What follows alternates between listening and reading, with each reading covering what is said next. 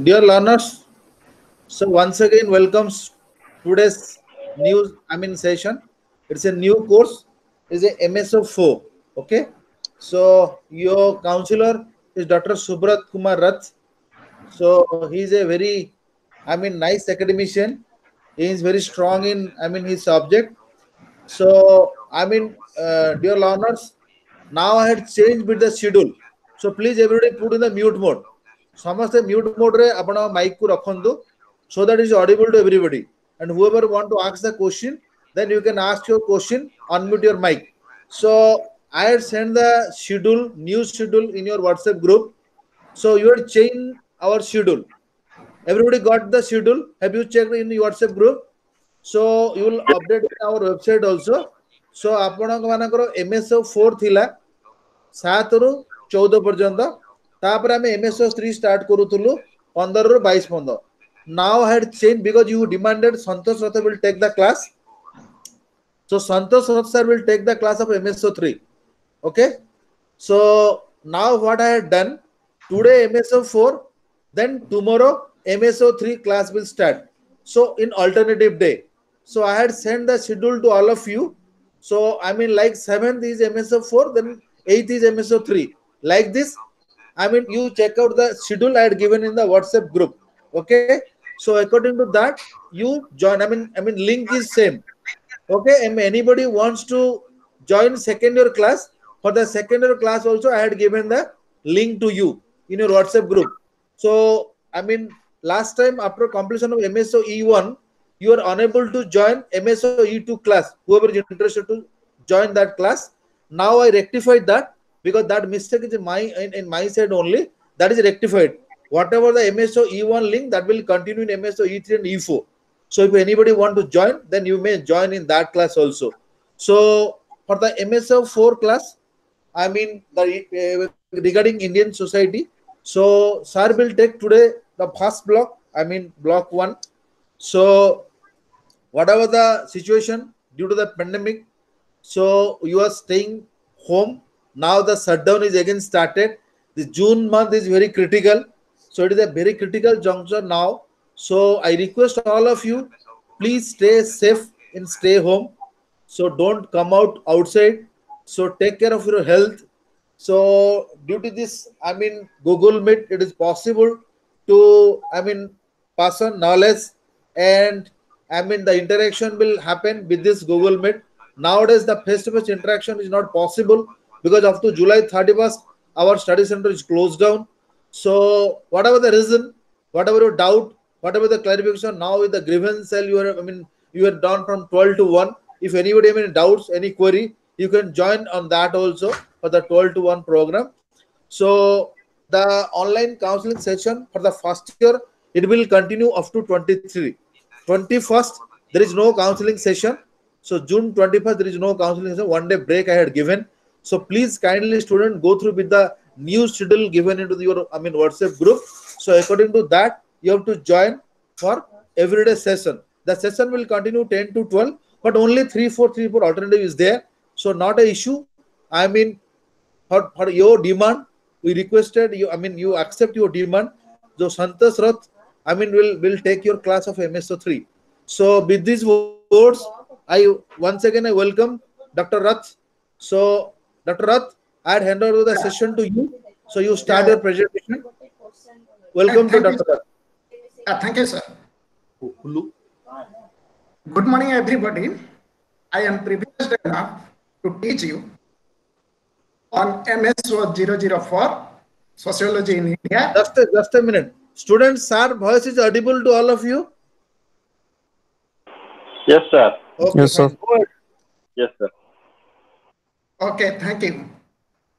So I am very much thankful to Dr. Santosh Kumar Panigrahi for giving me a chance to present myself before you. So today we will start to understand the emergence of sociology in India.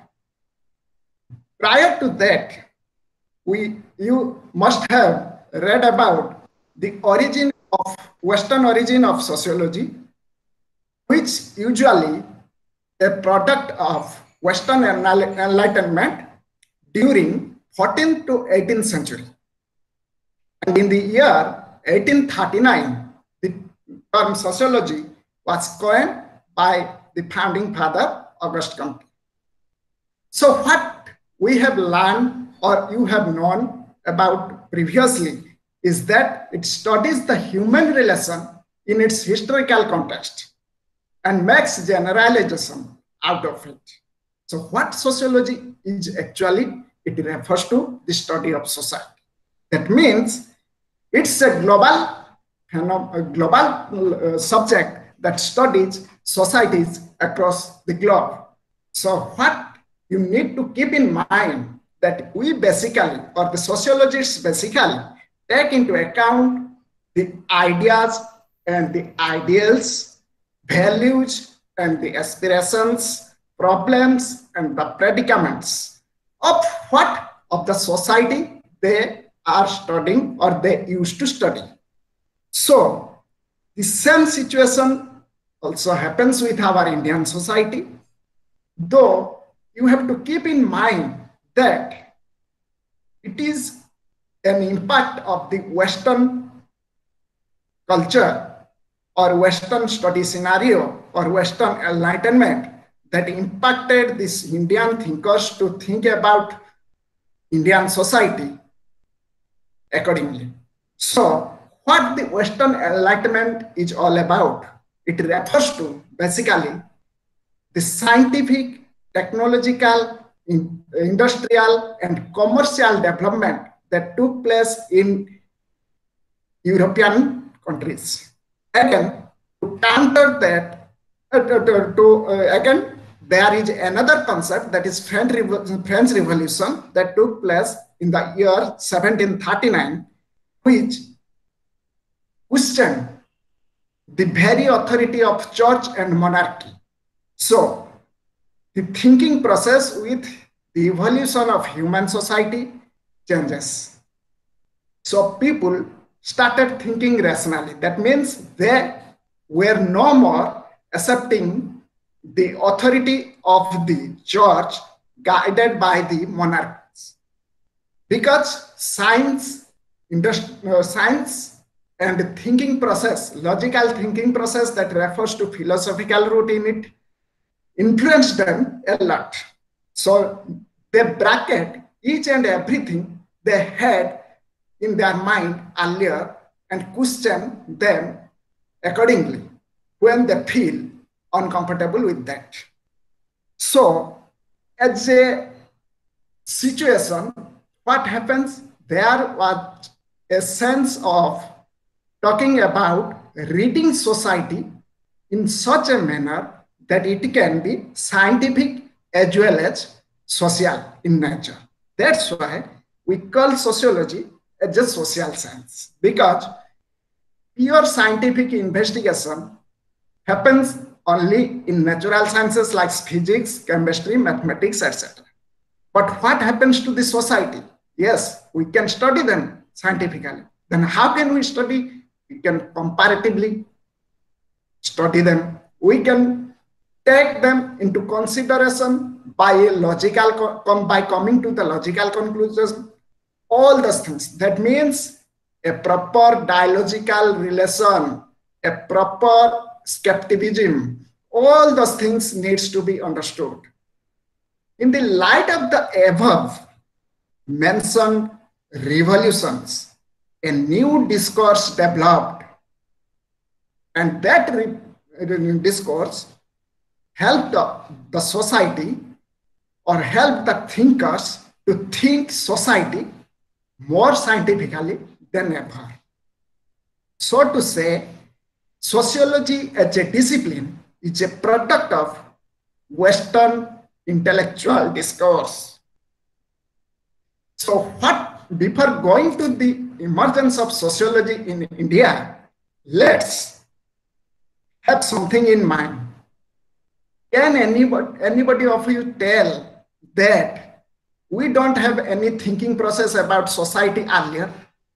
Of course not, because there are so many texts. If you will go through them, there are so many texts which talk about the society. the Indian scenario. For example, some text will talk about the dharmas, dharma, uh, some text will talk about dharma, some will talk about the economy, some will talk about the political system. Though it's true that not a single science is there which teach them as a together or as a whole. So the sociology as a separate academic discipline in Indian universities took in the first century of the 20th century, uh, 20th, uh, in the first half of the 20th century. Prior to that, if we will go through them, we can find that it develops in various stages. We will go to these stages later on. First, we try to understand what the debate is all about regarding the emergence of sociology in India. I have already told you, sociology is of Western origin. So, whether the Indian are able to accept them or are interpreting them. So, the debate is like this. There are various schools of thoughts regarding uh, regarding discussion about uh, discussing about the sociology in India. The first school of thought believes that Indian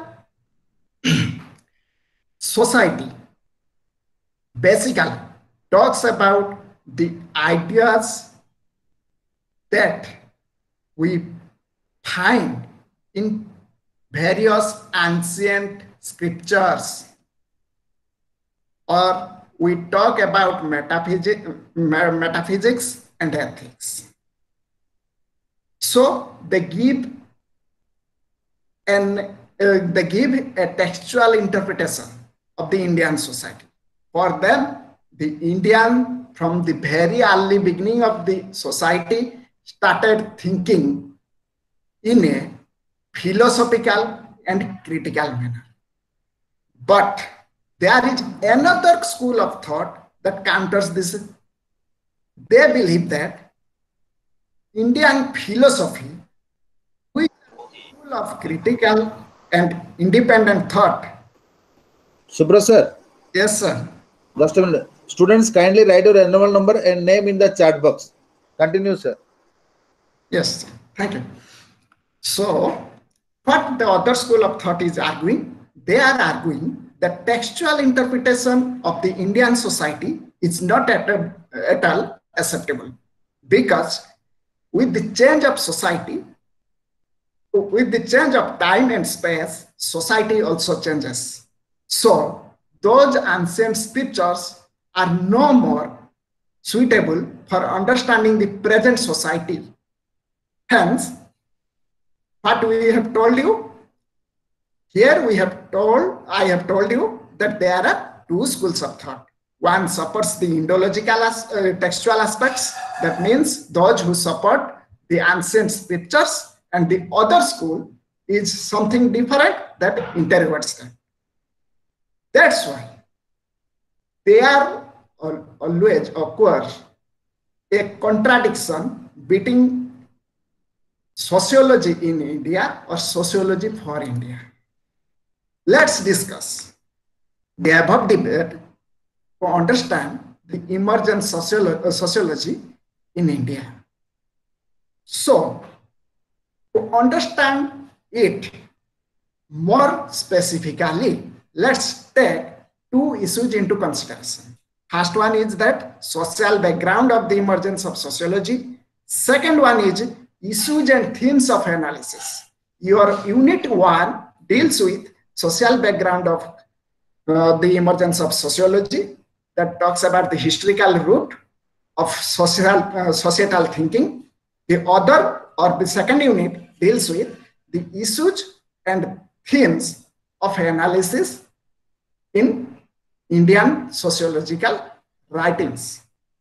But prior to that, keep in mind that in India, sociology and anthropology were started equally or are studied equally. There were no different departments or different school of thought at the earliest. So what till, till our discussion ends, we will take together both anthropology and sociology as a whole to understand the Indian society. So the whole, first we will discuss about the social background of the emergence of sociology. To understand that, if we will go through the historical background, we can divide the whole system of evolution of sociology into three phases. The first phase is in between 1773 to 1900. And the second phase is in between 1900 to 1950. And the third phase is in between 1950 until it continues. So, socio-historical background we will start with. First, we have to categorize the socio-historical background of Indian way of thinking. I have categorized, and it is also mentioned in the book, that the whole sociological thought can be categorized into three types. First one will be the ancient view. Second one will be the Britishers' view. And the third one will deal about the contemporary or independent India or after independence of India. So let's begin with the ancient view. As I have already told you, we cannot completely deny that there were no such thinking about society prior to sociology in India. Yes, there is thinking, and those thinking are specific in nature. For example, Manu's Dharmasastra. In Manu's Code of Conduct, he discussed or he had written about our way of doing. According to our doing, we find our result or we deserve our result. This talks about a certain type of ideal type or ideology that prevails in the society. At the same time, there is another concept called there is another thinker who is known for his analysis of Arthashastra or economics. He is Kautilya.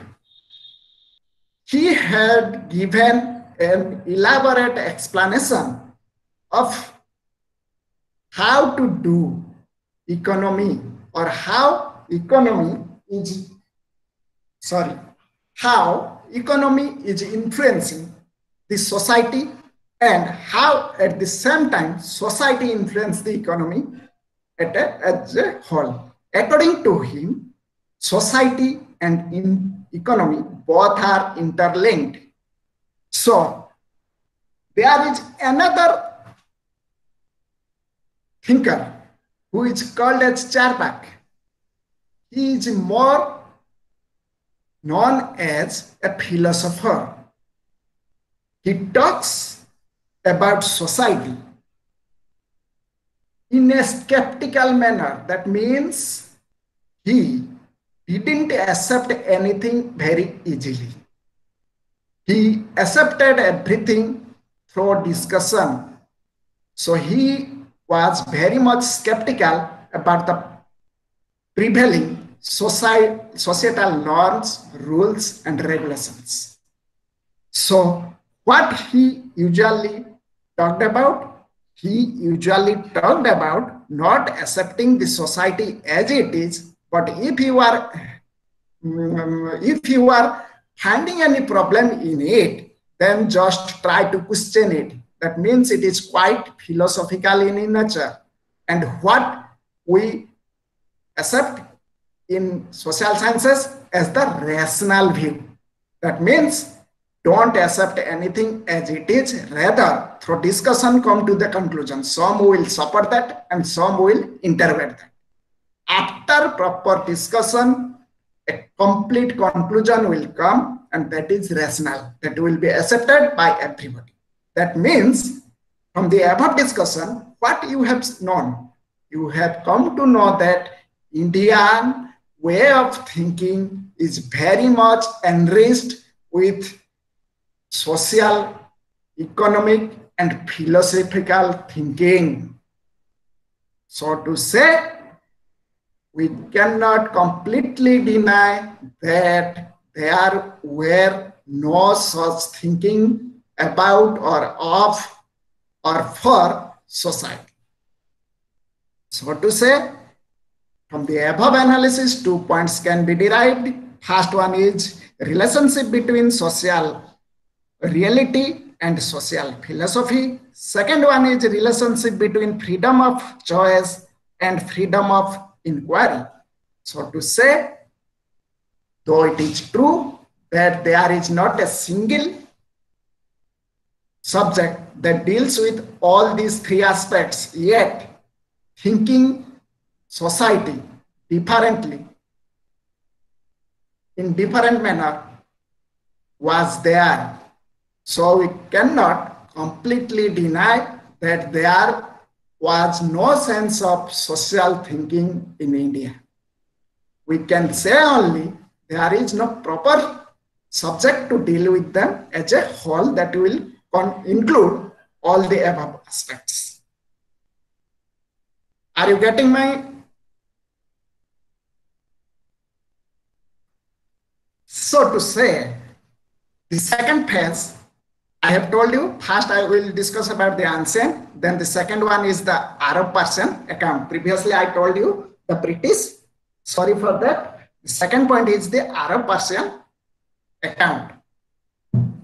Arab Persian account, that means you have known it from the history that in various time, various outsiders came to India for various purposes. Some have had come here for gaining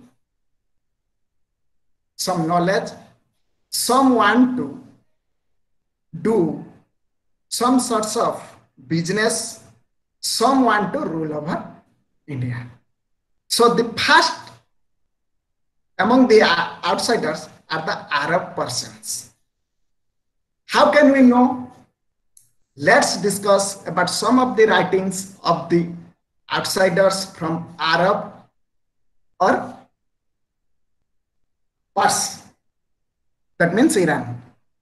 First one of them is the is Megasthenes.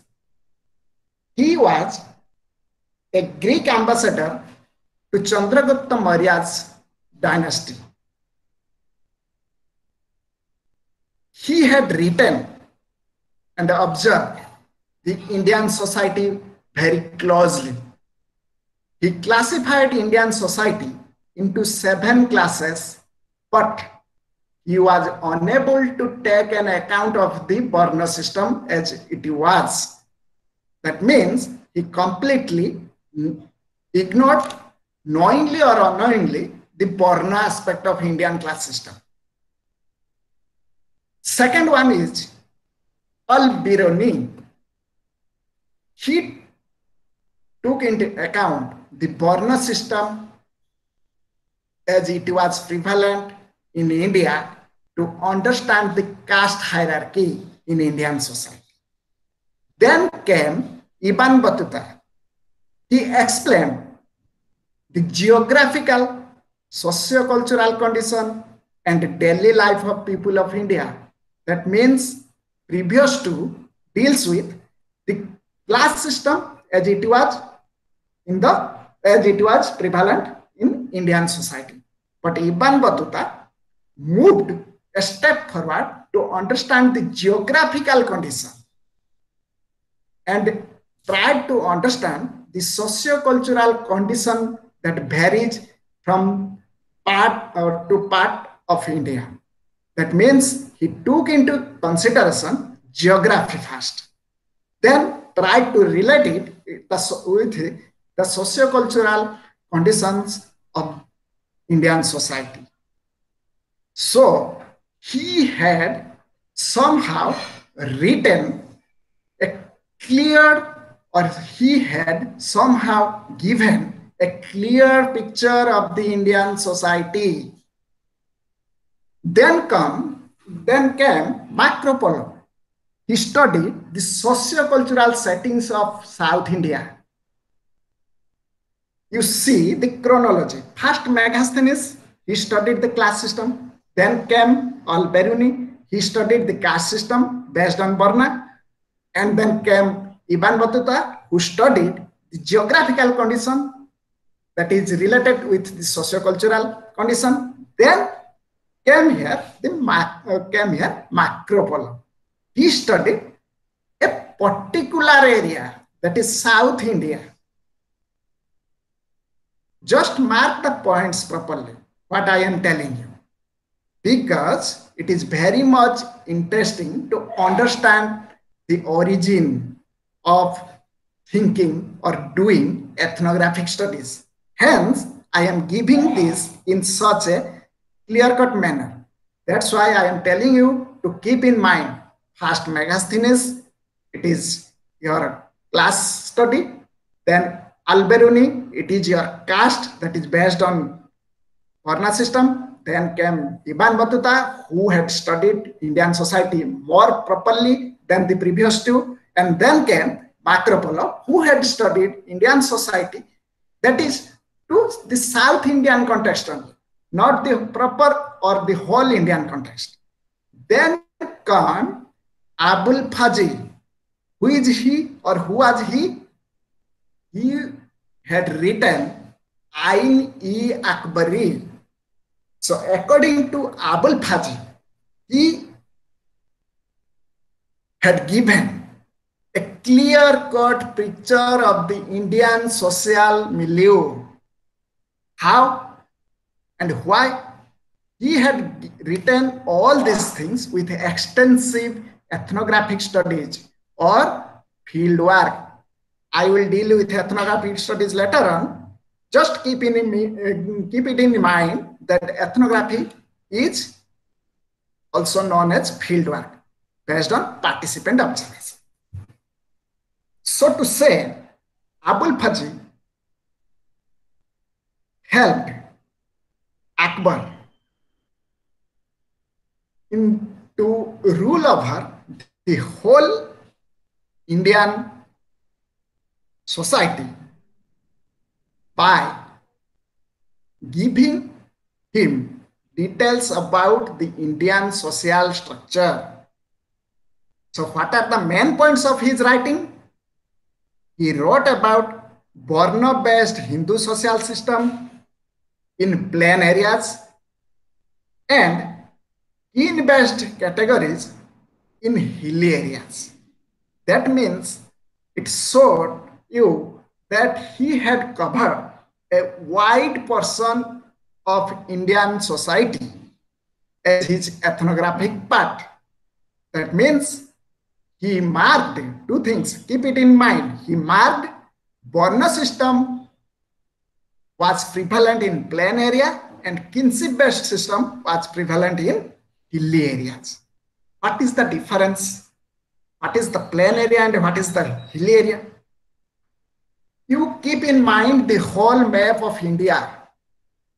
You will find the northeast part or the northern part is belong to the hilly portion and plain areas then the other aspect, other states. So basically, basically Abul Fazl did extensive field work in a comparative manner. He compared the plain areas with that of the hilly areas. And what you know, you, you must have known that in hilly areas, basically the primitive people used to live, which we call or which we term as Adivasis. So, who are they? There are various types of tribes like Gond, Ahom, Santals, and all those things. They so Abul Fazl took into account the comparative uh, uh, took into account the social structure that is prevalent or that was prevalent in those two geographical places. He had divided the whole Indian into plain area and tribal area. And what he found? He found the plain areas were dominated by the Varna-based caste hierarchy. At this, on the other hand, the hilly areas based on kinship-based hierarchies. So, though it is not mentioned in the book, in this chapter about what is kinship-based hierarchy, let's have some idea on it. Kinship basis, kinship refers to the relation based on blood and marriage. So you will, while you will study about the kinship relation in India, you will find that there are various types of families or societies which are classified on the basis of the blood relation or on the basis of, relation that occurs from marriage. Basically, among the tribals, there were no concept of caste. Hence, he had mentioned, who? Abul Fazl, he had mentioned that the tribal society can be marked with kin-based categories. Who will dominate, who will subordinate, who will own the property, who will be the head of family, all these things. And who will accept properties from which side and what will happen to the society after getting married. All these come under the concept of kin-based categories.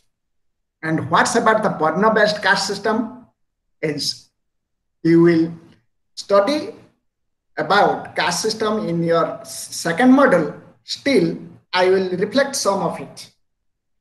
The whole Varna system divide the society into four categorization keep in mind that Varna is not equal to caste. While we will discuss about caste system, I will make it more clear. But keep in mind that Varna system divides the society into four categories. Then what is caste? As S.C. Dubey has mentioned, caste here refers to the subgroups within the Varna system. It is there in the book. You can if you will go through the book properly, then you can find. Otherwise, I will make it clear in the next class where it is mentioned. So what I am telling is nothing different, but it is there in the book. Must keep it in mind so that you can easily understand. So to say, all these Arab-Persian accounts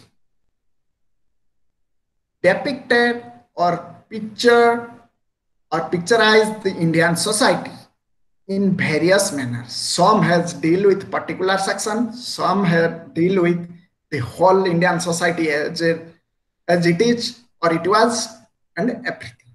So in the earlier section, we talked about the ancient. In the, here, we talked about the Arab Persian account. Then in the next, we will take talk about the introduction of British rule. That is the third phase. Prior to the introduction of British rule, let's understand how was the Indian socio-cultural system during pre-British era? Because when I will talk about the introduction of British rule, it will make you sense to differentiate between pre-British India and British India. So first, let's discuss about the stable Indian social cultural system as it was in the pre-British India. Gopal Haldar, a noted Marxist, has rightly pointed that Indian society is predominantly or was predominantly governed by the agrarian structure. What is agrarian? Agrarian refers to the relation between people, between community, between society. By taking into consideration agri- uh, into consideration agriculture as a main part of it. Here, agriculture does not simply mean that doing cultivation, rather, agriculture refers to land ownership also. So, what is what I have told you? Agrarian society refers to agro based art and crafts and the agro based social relation excuse me.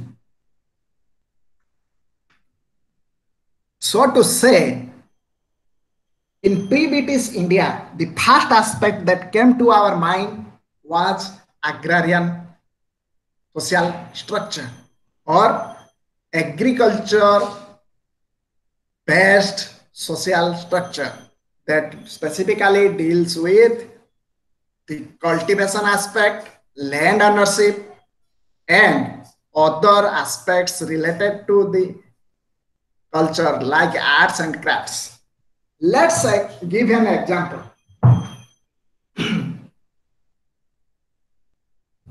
Take into consideration about your own society.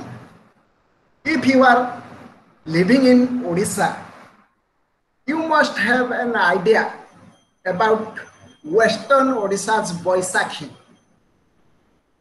Boisakhi we usually talk that Nuakhai. In Western Odisha, specifically in Sambalpur, we talk about Nuakhai. What is that? Nuakhai is a function or a festival that deals with eating newly harvested your grains or we call it rice. So when rice was when rice is harvested, we celebrate it by worshipping goddess Samalai. That means here you see we was prior to harvesting, prior to cultivation, we worship the land first for proper harvesting for for secure harvesting. Then after harvesting we again worship. So what is that? All our ritual practices related to the agriculture. So nuakhai is a part of that agrarian structure isn't it? It was there it is there and it will be there. So in pre-british india in various states, there were uh, such type of agrarian structure. Then comes the second point that is caste. What is caste? As I have told you, those are subcategories of the Varna system. That means we will talk about it later on, but keep in mind for your purpose, just keep in mind the caste system has divided the whole society into an hier- into a hierarchical order.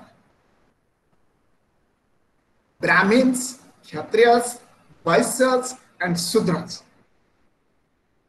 They came under the Varna category here, and another type of caste is found that is called untouchables. If you will go through the works of S.C. Dubey, he has clearly mentioned that untouchables are also coming under the caste category. However, you will see a very interesting thing. Though caste is hereditary eh, based and though it create a hierarchical order in the society, yet the whole society is very much or was very much interlinked with each other. That means all caste based society or uh, all caste based communities were depending or were interlinked with each other, which is clearly mentioned under Hindu Jajamani system. What are the duties of the Brahmins? The Brahmins supposed to teach and do priestly jobs. What is the, what is the duty of a Kshatriya? The duty of a Kshatriya is to protect the land, the monarch, and familiar itself, or to say to protect the society itself. What is, duty, what is the duty of Vaisya? To agricultural services. Basically, we call them farmers. What was the duty or is the duty of the Sudras?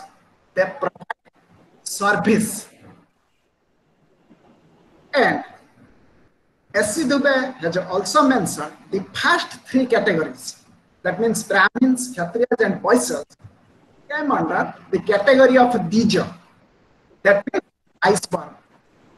You must have, most of you have seen that among Brahmins and the Karanas uh, and the Mohantis, there is a term called Bratapanayana or sacred thread ceremony. Sacred thread ceremony is referred to as Sanskritic incarnation of a person. So to say, these above three castes, that is Brahmins, Kshatriyas, and Vaishyas, that come under the Dijo, Sudras, and untouchables, they were placed in a lower manner in the society. But if you will go through the textual interpretation, you will find, don't, I am not talking about the present situation, I am talking about the textual. Just keep in mind, because till now the Britishers have not arrived. After the Britishers arrived, there was a change. Prior to that, Indian society is guided by the Jajamani system. Jajamani system refers to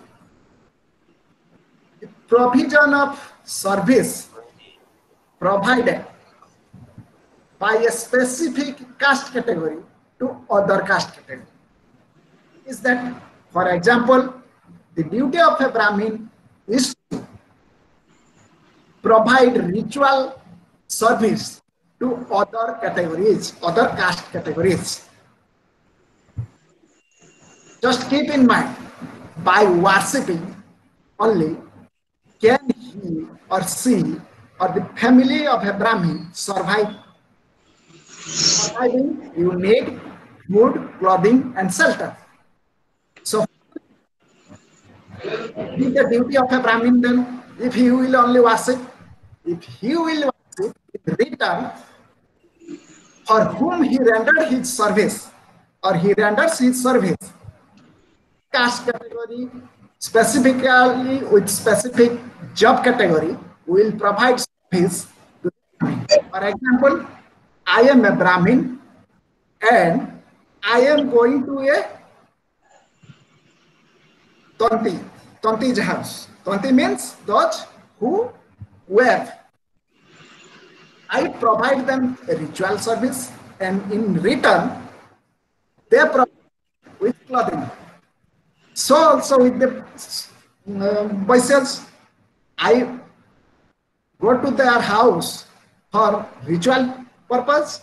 I will do all the ritual activities in their house. In return, they will provide me with grains.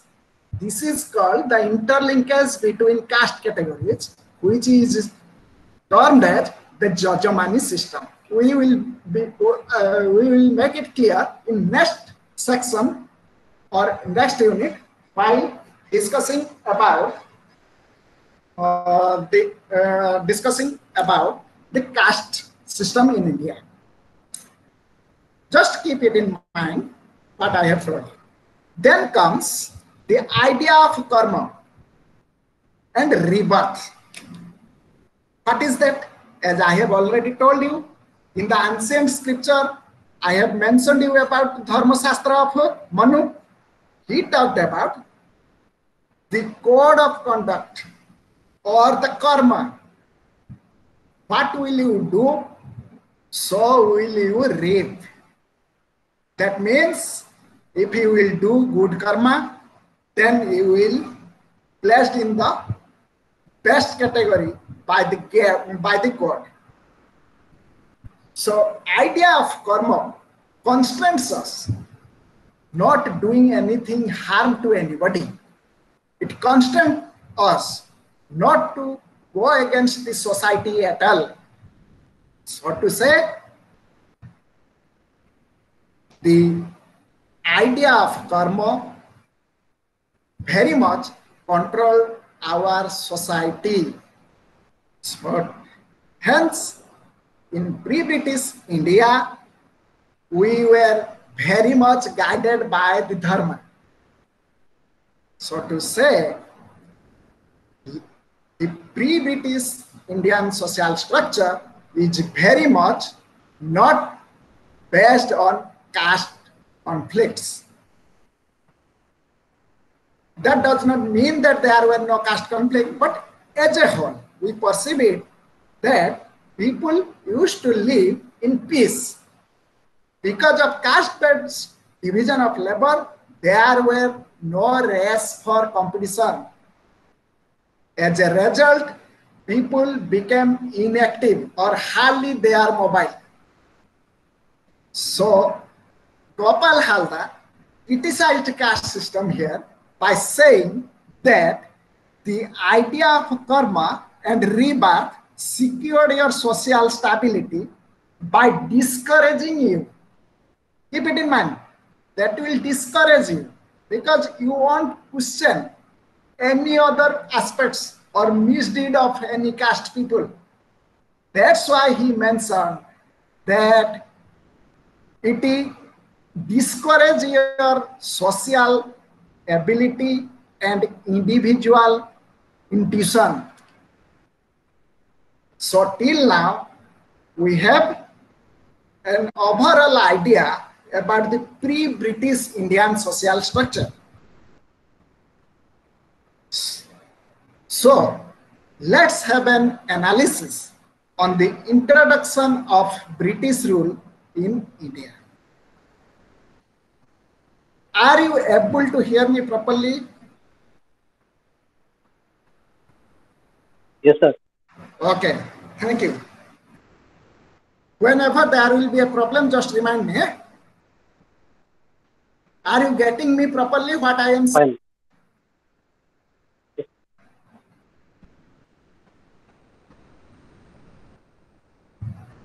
Okay.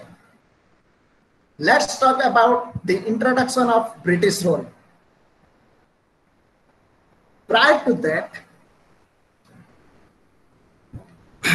just have an analysis of A.R. Desai.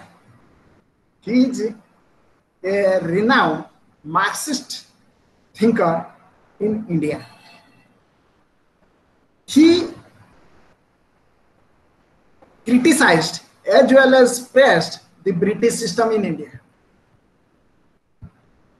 According to him, and as you will find in other writings also, the Britishers introduced press, railways, Western education, what we call it modern education, clubs, and associations.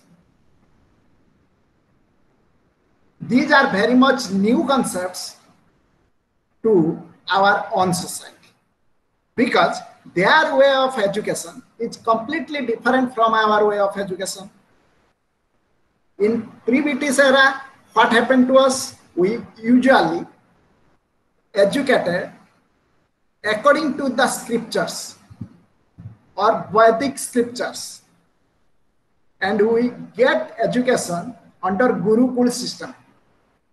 But after the advent of Britishers, they introduce school, colleges, etc. Earlier, we used to hear and memorize about the society, about philosophy, about economy from our gurus. And those who are well versed in Sanskrit, they were capable enough to understand the Vedas. However, most of us were not educated in Sanskrit. Hence, we used to memorize the teachings of our gurus. So, Shruti means we hear and Smriti means we memorize. These two were the basic aspect of our ancient teaching standard. But with the advent of Britishers, modern or Western education was introduced. We will discuss it later. Just keep it in mind. Britishers, as A.R. Desai has clearly pointed out, Britishers introduced your press, railways for communication, Western education, clubs and associations. Secondly, he has also mentioned about that these those who were trained in British education, their errors and attachment with the British lifestyle. That means those, those who were educated in Western way of education, they were more inclined to the Western way of thinking in comparison to those who were educated in Indian standard. So to say, there came for the first time and skeptical situation. That means some will interrogate the Indian way of thinking. And who are they? Those who were educated in Western manner. They look their own society in a very suspicious manner. They, they started complaining about any problems in the society. For example, I will give you some example let's have an idea about sati system. In pre-British era, whatever may be the cause of sati, but after the death of husband, the wife supposed to uh, die in the pyre of her husband. That is called sati. But do you think Sati is a good manner? Don't the women have an option to live? Does their life simply confined to the husband? How did I ask, or how do I ask all these things? Because I am educated in the Western way of thinking. If I was educated in the Indian way of thinking, I would have argued something different. I would have argued that previous society was very much intolerant because India suffered a lot by the outsiders. So they treated the female, Indian female, very heinous. And as a result, or to integrate that, or to counter that, they are offered sati. But as I am educated in Western way of thinking, I question that. I will think the other way. While the previous one talks about the maintenance of the structure, I talked about the interrogation of the structure. Or I will counter that maintenance of the structure. These two concepts are related with functionalism, structural functionalism, and critical uh, theory. Structural functionalism previously prevalent in Indian society and still you can also mark it that talks about system maintenance. We won't question whether it, that is good or bad for the society. Rather, we will question how can we maintain the system properly for smooth functioning of the society. So in, uh, the structural functionalists don't question sati, whether it is good or bad. Rather, they will find out or they will elaborate that sati pratha occurred because during that so, uh, time, the outsider ill-treated the females, Hindu females. That's why they protect themselves in that manner. But critical or the Marxist aspect of the thinking that came after the advent of the Britishers talked about questioning that thing because the female has the right to life. See, we must not say that she is not empowered enough to protect herself. These are the concept. Just keep in mind because in the next section, when we will talk about the village study, we will deal about various theories. But here, just keep in mind the themes. Why there are theories and how we will look at the society. So now, talk about the British system, introduction of British system, a little more. Okay, just begin. The British came into India, Portuguese too came into India. As your history told you, the Britishers came in India for the purpose of doing business. But in due course of time, the purpose of doing business was very much replaced by the idea of ruling. Whatever may be. Why they study, why they took interest in understanding the Indian society very much. Try to analyze that. Just keep some assumptions or preconceived ideas as the Britishers think the Britishers think that Britishers refers to Christianity. Here, try to understand the social condition of India on the basis of religion, caste, race, and economy. Here becomes a systematic analysis. So look at their assumption. What they assume? They assume that, Hinduism is filled with superstition. What is good for us is superstitious for them. As I have clearly mentioned, or I have given the example of sati. For us, that is a good aspect, but for them, we are superstitious. Think about the tribal society you must have seen in tribal society, there were concepts of animism and naturism.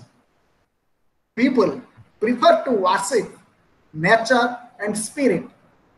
To please them, they offer bali or sacrifice. For the tribal, that is their functional aspect or ritual aspect, and that is good for their society. But how will an outsider or a Britisher will look at that. The Britisher will term it as superstitious. That means what we call in Odia as Andhavishwas. That means blind belief. So we, according to them, these are all valueless aspects because they didn't have such type of aspects in their society. So being an outsider, they understood the society in their, in their own way. They tried to understand Indian society in their own way. That's why the term that, that Hinduism is filled with superstitions and abuses. Secondly, they assume to administer properly. As I have told you, first they came here for doing business, later on they try to, or they have started, they have started ruling over us.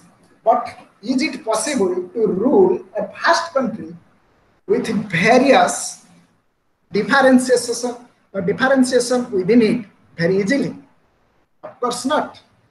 So they keep in, in mind that as the Indian society is very much differentiated or full of vari variations, hence there is a need for categorization of various aspects as found in the society. Here comes your divide and rule policy. Here comes your divide and rule policy. They introduced this policy for their benefit. Then who will, uh, who will tell them regarding this varieties? It were uh, those were the anthropologists who did ethnographic studies on Indian socio-cultural settings. So here, with the advent of the Britishers, came a formal school of thought that is termed as an anthropological or ethnographic way of doing uh, study. They used to study society as it is, but looking at society varies. But as the concept ethnography refers to, the ethnographers went to a particular field for gaining details beginning from economy to the caste structure of that field. So what they did, they took into account three approaches to study the Indian society.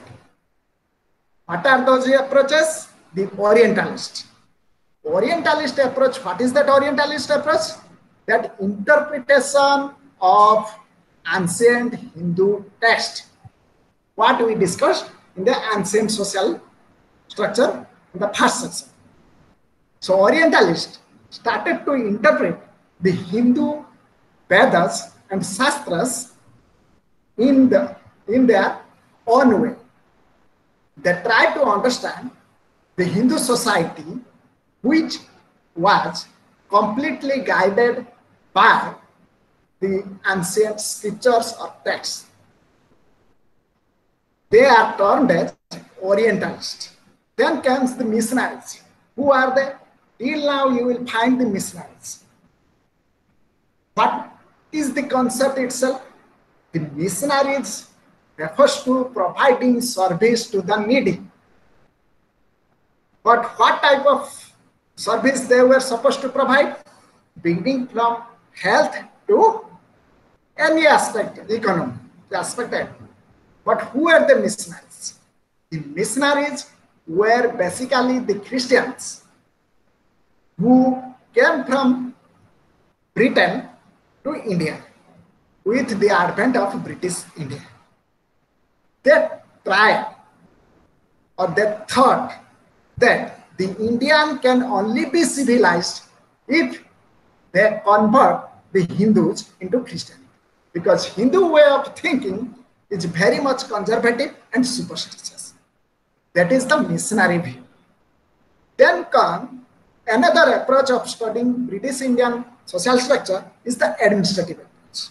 As I have already told you, in their assumption, they keep they kept in mind that there is a need for stratifying or categorizing the whole society so that they can understand it properly and they can take benefit out of it.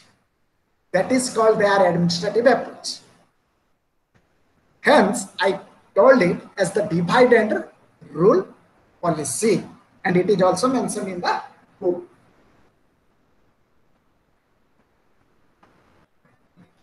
Then let's us, let us discuss how they have started studying the Indian society.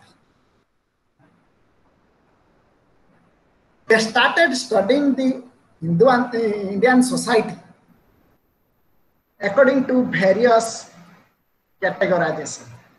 As I have already told you, their administrative approach was to categorize. So they started studying various aspects of the Indian society. First one is study of agrarian village structure. Why village structure? It is very interesting.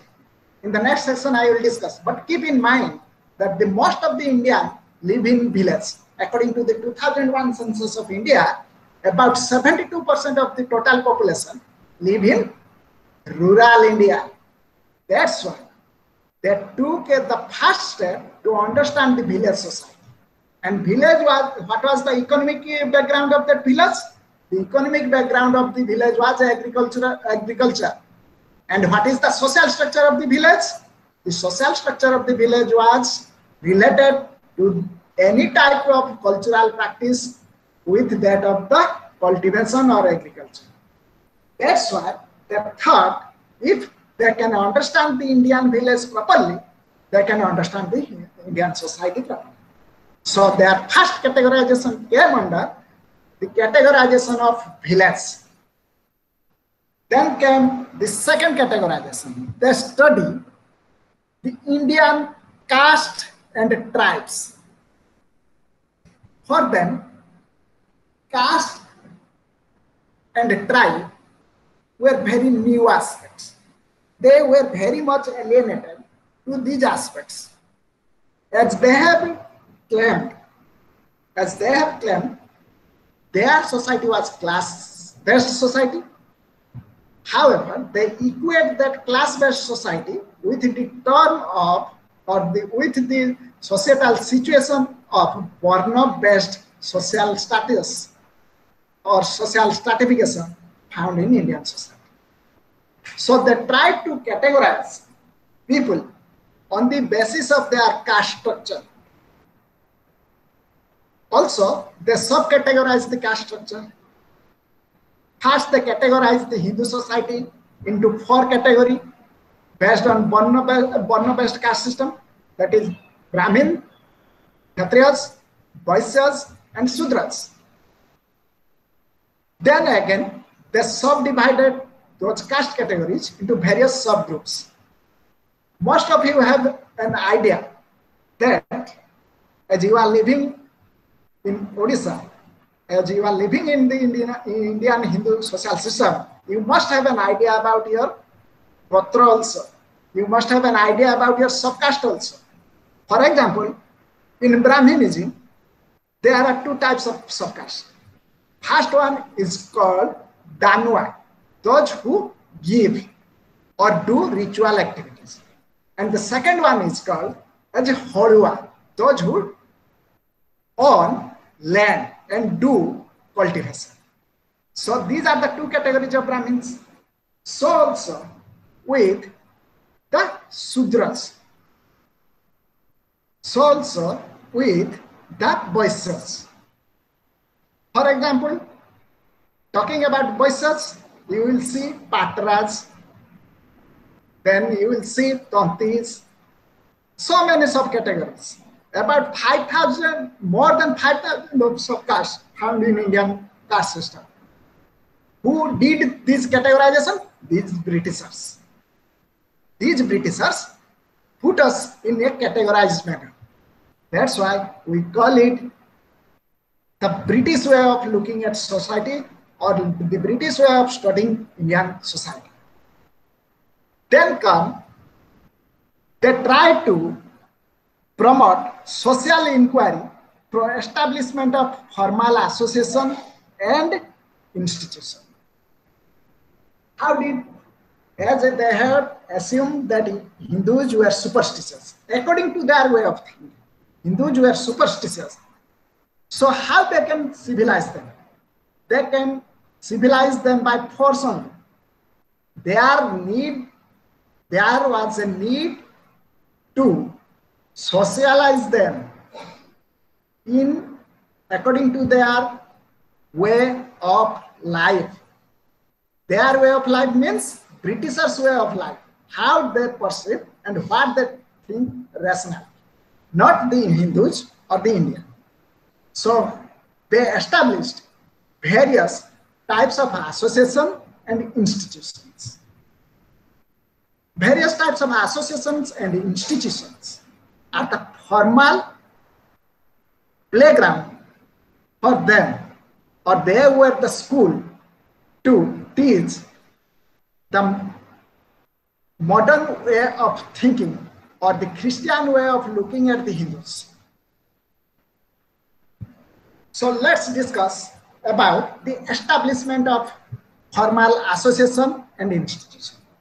Before that, have, have some idea about the Indian social system that talks about caste hierarchy, that talks about widow remarriage. In previous, before the advent of Britishers, there was Sati Pratha. The widow were not allowed to get married or remarry. So also caste hierarchies.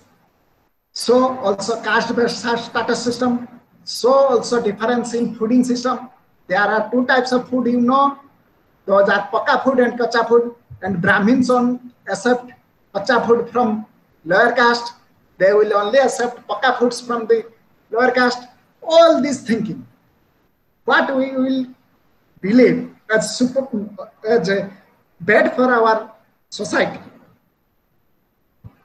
are taught by the Westerners or the Britishers to us from modern education. And who are the agents of modern education?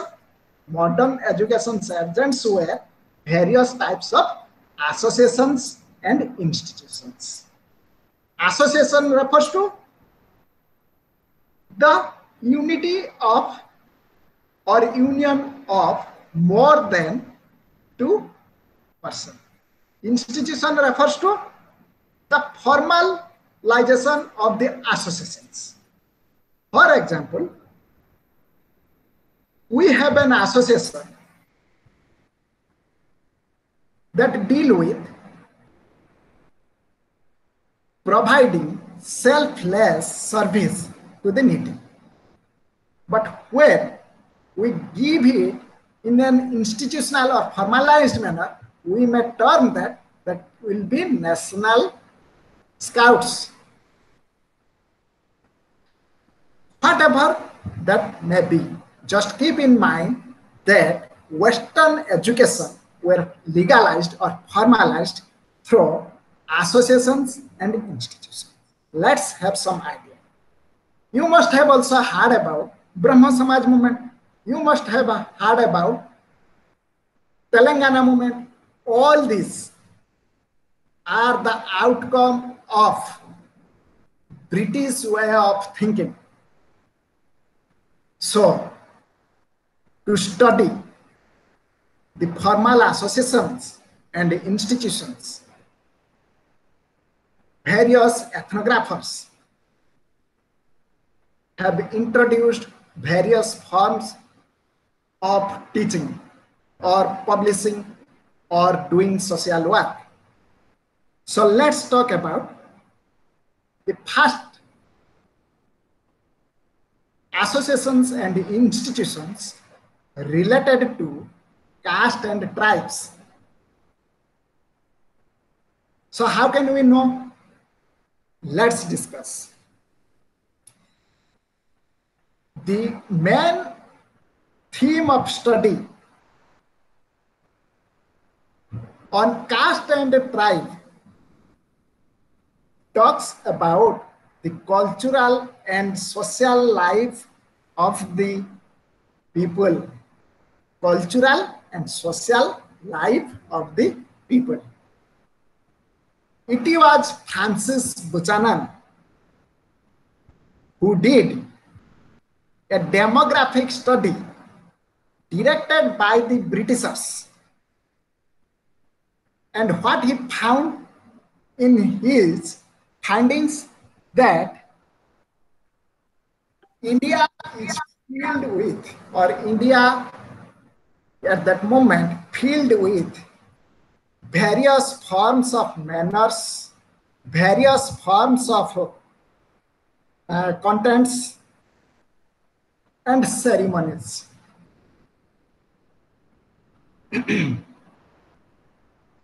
Similarly, there was another work by William Tennant. He did an analysis about the domestic and rural economy of the society.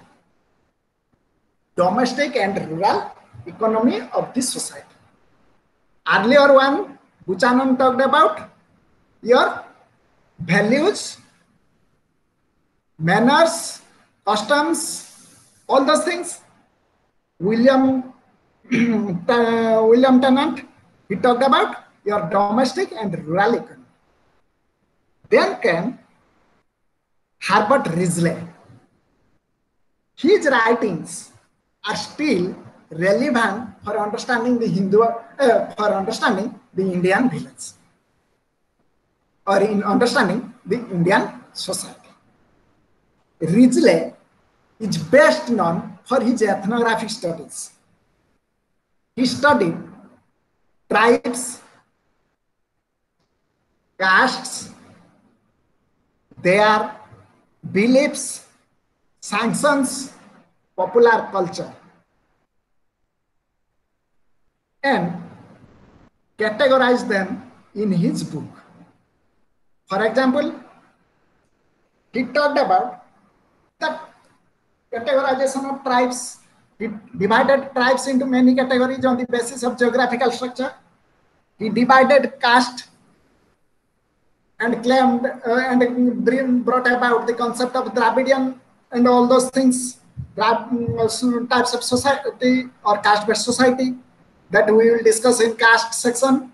Not here, just keep in mind.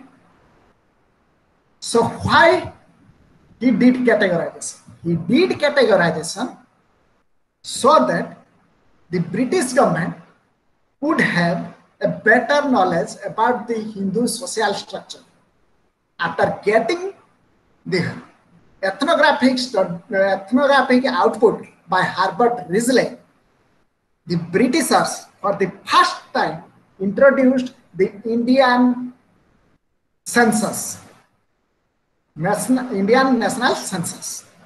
Till now we have that census system in India.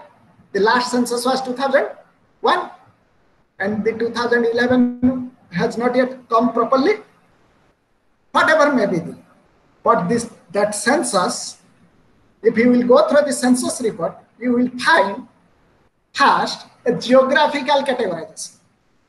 Then you will find a caste-based categorization. Then you will find religious-based categorization.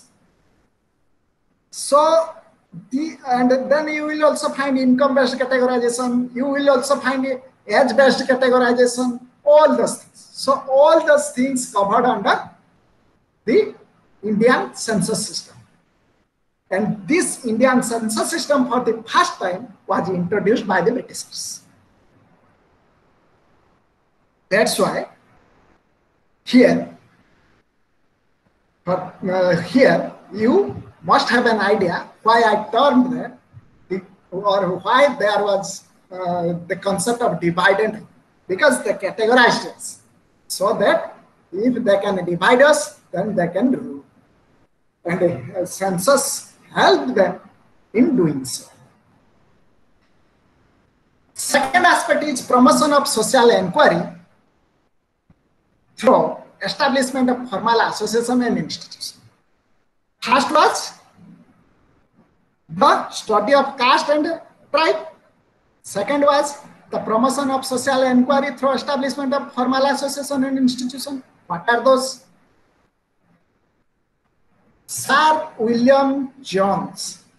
Sir William Jones established the first Asiatic Society of Bengal. It took into consideration the historical, scientific, and artistic aspect of the Indian society. So the Asiatic Society of Bengal deals with three things, history, science, and arts. What, and uh, what was the output of that? They did categorization of subjects, Indology, comparative philosophy, comparative psychology, all those things. Second came the Society for Acquisition of General Knowledge. Society for Acquisition of General Knowledge. What is that? General knowledge, most of you have been preparing for the civil service.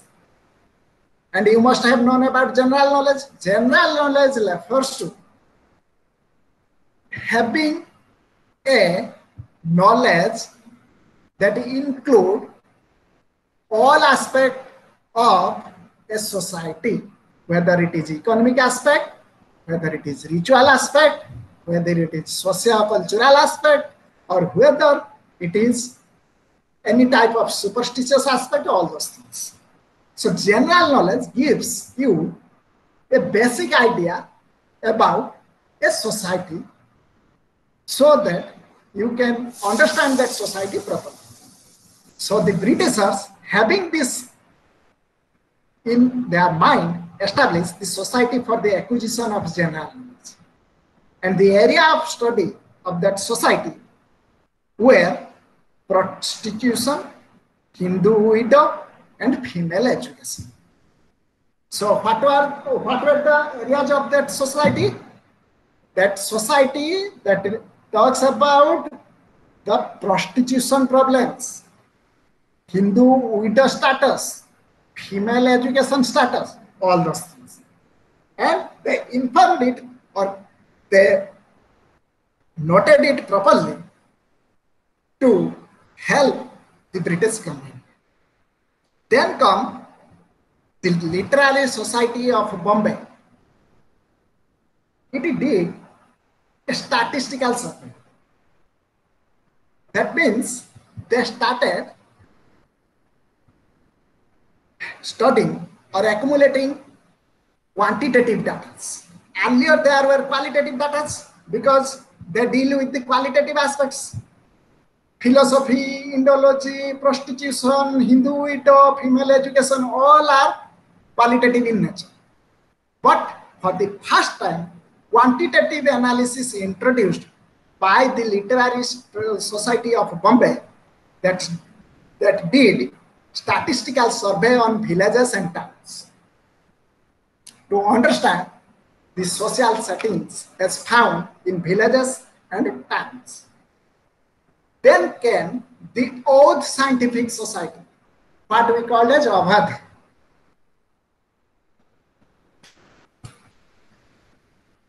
Sorry. The old scientific society deals with all aspects of problems as found in society. That means it is more scientific than the previous institutions or associations. It covers each and every aspect of the Indian society which had some sorts of or had some uh, had drawbacks in it.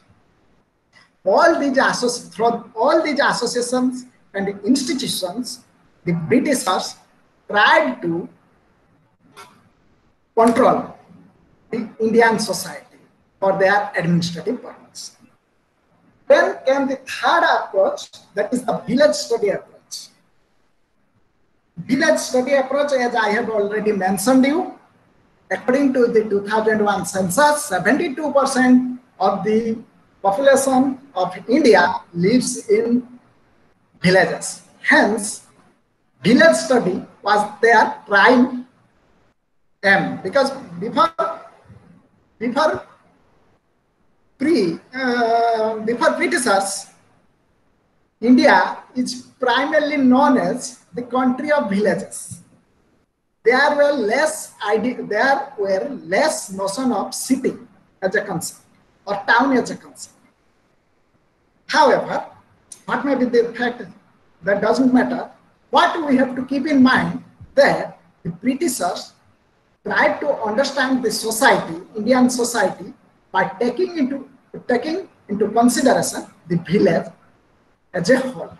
So for them, village can uh, the study of villages can give can give a better understanding of the Indian social structure. So various British ethnologists started studying villages from their point of view. First, it was B.H. Baden Powell. He wrote a book named The Land System of British India. So B.H. Baden Powell, at the direction of the British government, started to uh, started understanding the Indian village from British point of view, but as an but, but, but as an holistic one. That means whatever he will study at first sight will be as similar to the insider's view. That means I am living in a village. I have more knowledge about that village, the social structure of the village, about each and every person of that village, about the social condition of the village. As I am an insider, if I will make a monograph on my village, then I will have a better idea, or the monograph will come with lots of uh, ideas. So, B.H. Baden Powell utilized this idea of insider to study the village. But he deals with two things in his study.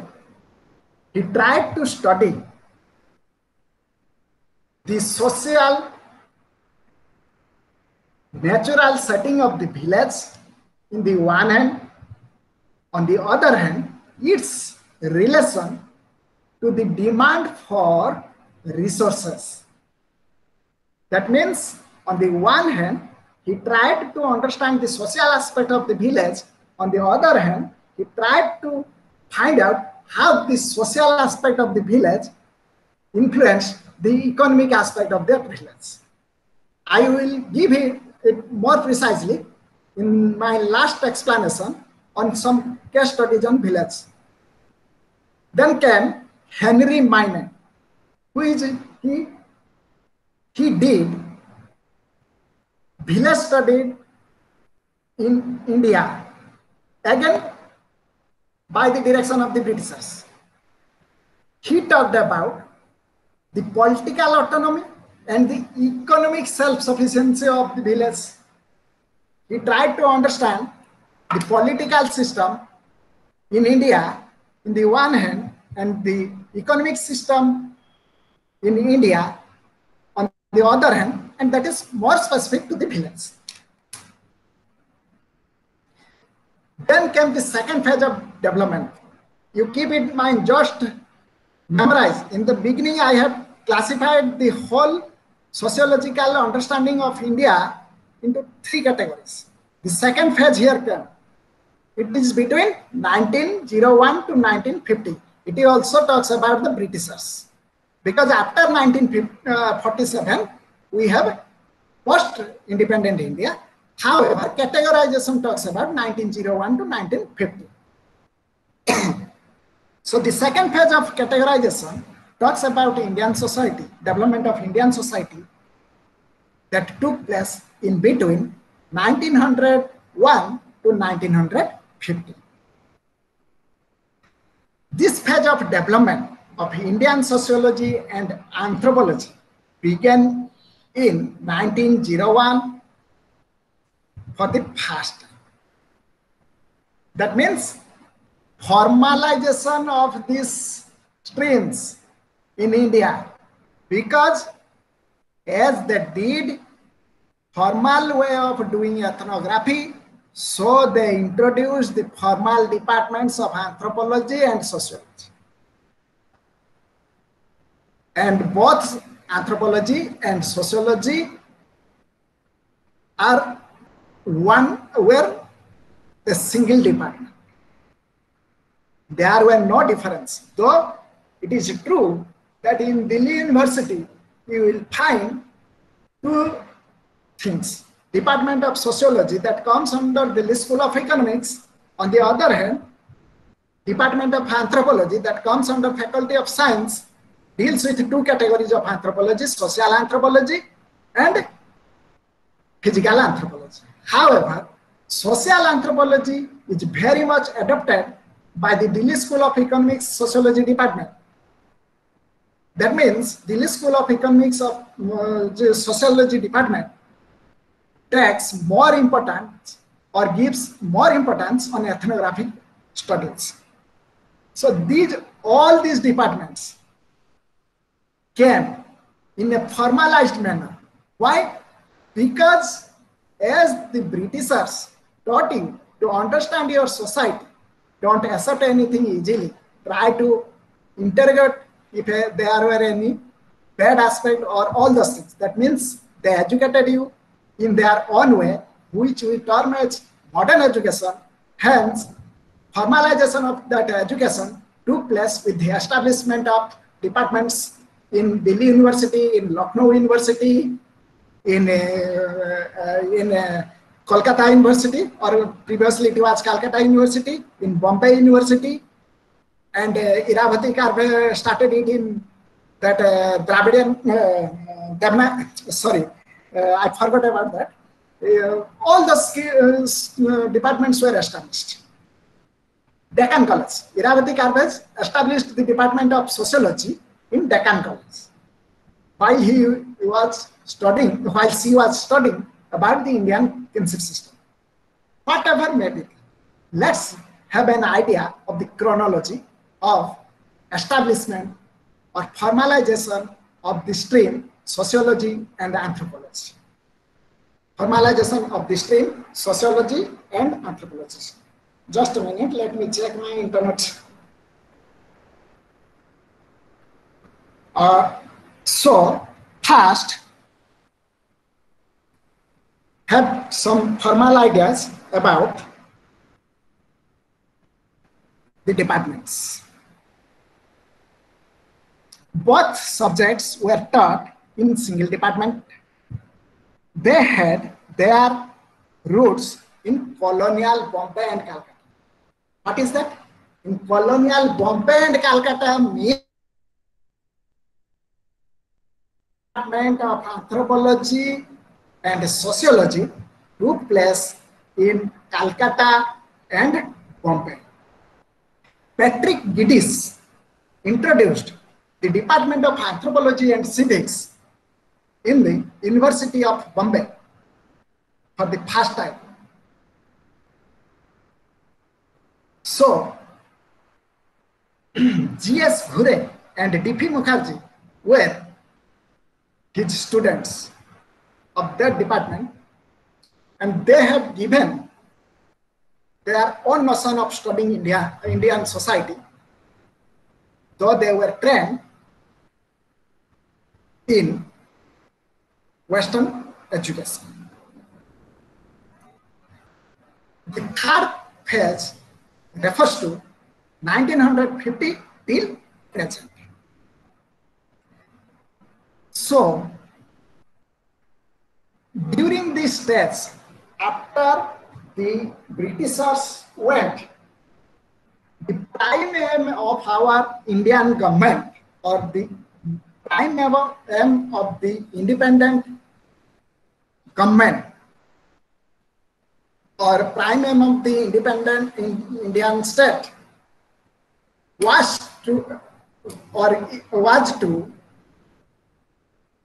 re-establish India by keeping in mind development as the main theme. So, the Congress government took development into account as their prime way of governing or rebuilding the Indian society. So they introduced the Planning Commission of India for the first time. Planning Commission of India for the first time. So who will work over there? Those ethnographers who can give for uh, give an insider view of the society or the Indian social structure. Hence, the opportunity for more employment or education or flourishment of the stream, sociology and anthropology comes into existence.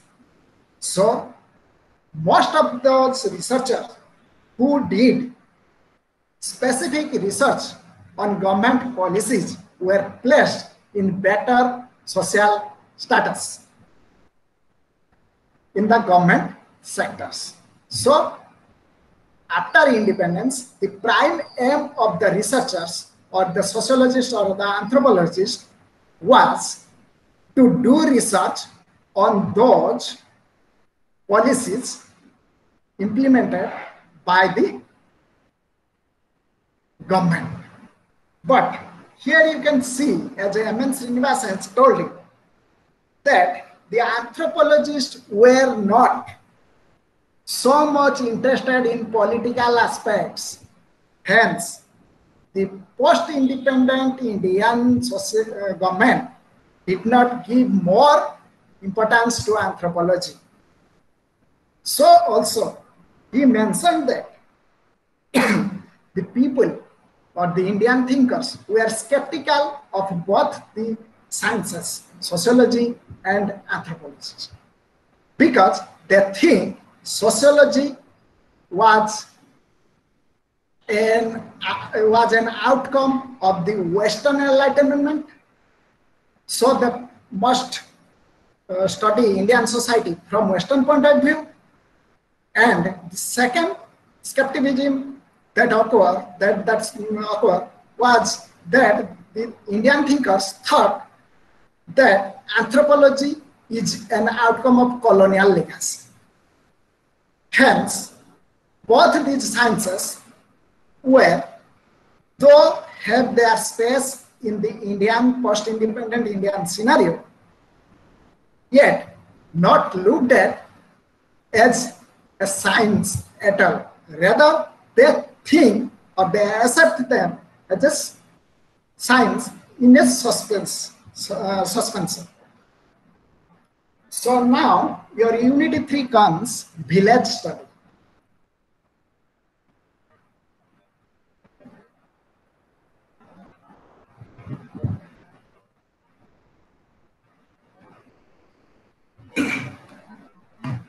village study. As I have already told you, the prime aim of the colonizers were to study the Indian society and categorize them into various categories so that they can hence from the very beginning in between 90 to 1950 village study gained momentum. What, then what are the features of a village for the colonizers or how the colonizers perceive the notion village. For the colonizers, village refers to self-sufficient community. Self-sufficient community. That means they have little interaction with other communities, other villages, or other people outside their village. Hence, Metcalfe has coined the term little republics. For him, for Metcalfe, villages were basically governed little communities, self-governed little communities who are not dependent, not dependent economically or socially upon other villages or other societies. Then comes the communal ownership of land.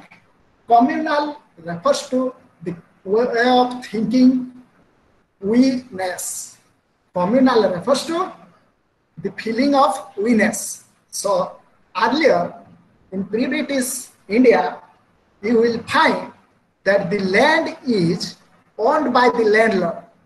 There and people used to work in, uh, in the patronage of the landlords. However, as there is there was no provision for individual. So your voice is breaking. Voice breaking. Please hold it. I think the net is slow. Let me reconnect it. Just hold it. Sorry, your sound is not clear. Yeah, yeah.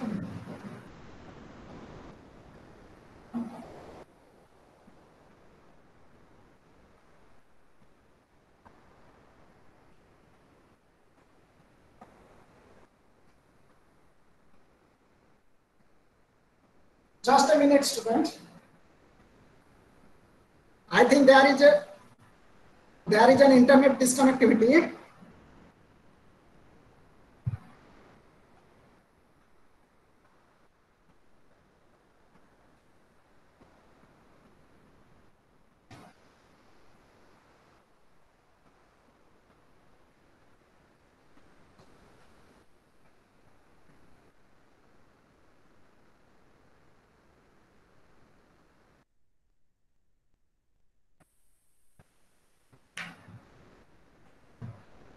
Hello. Hello. Yes, sir, it is clear. now. Hello.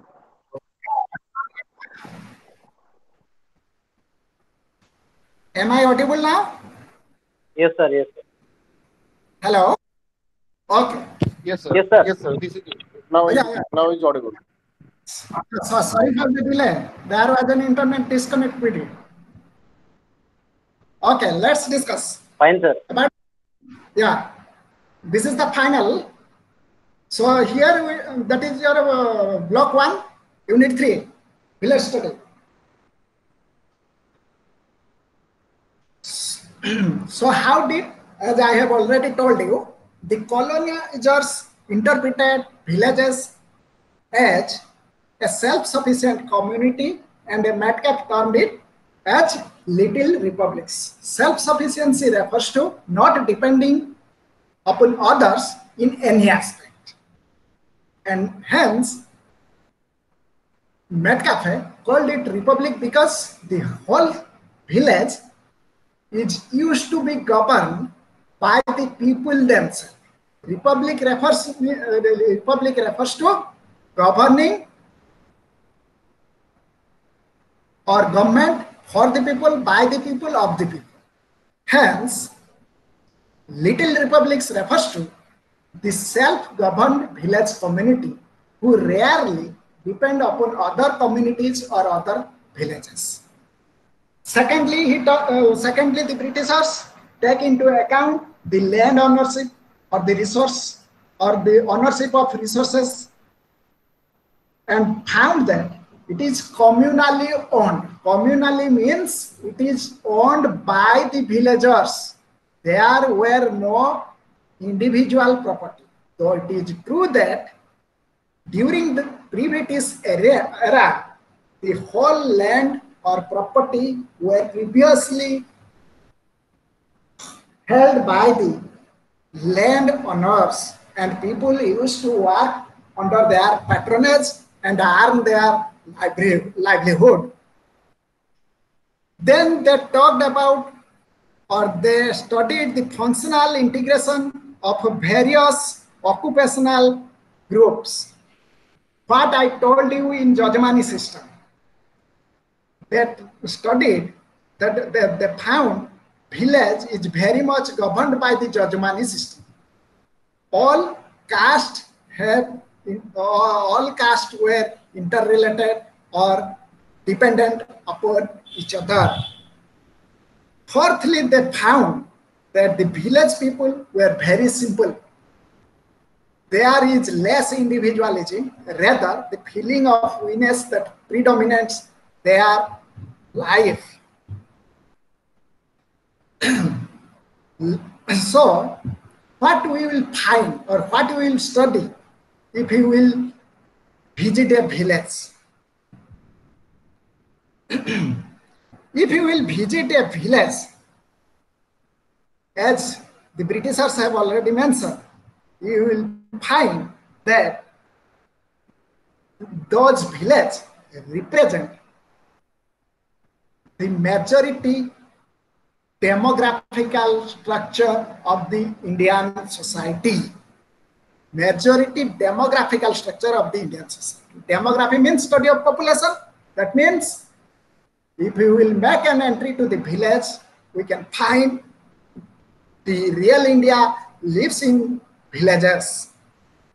So the village at the first sight refers to a demographical structure. Secondly, by entering to the village, we will find an ideological category. What is that category, ideological category? We will see the way of purity, pollution, the way of fooding, the way of housing, all those things.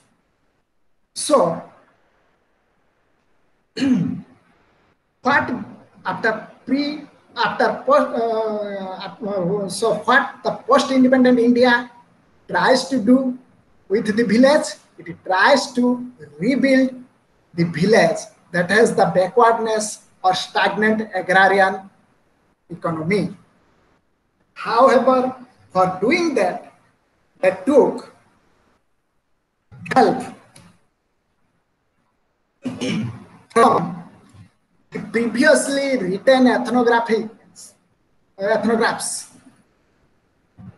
by the British governments, as I have from as I have already mentioned from the very beginning, that the idea of in, uh, studying sociology in India or studying anthropology in India is very much influenced by the Western. So, studying the present scenario of villages, the government of India through, through, through planning commission and through the researchers try to rebuild the economic agrarian structure of the Indian society. Uh, and the previous ethnographs help them a lot. How did they do field work? This section deals with the methodology of doing village study. There are something that you need to keep in mind. Book view and field visit book view and field visits.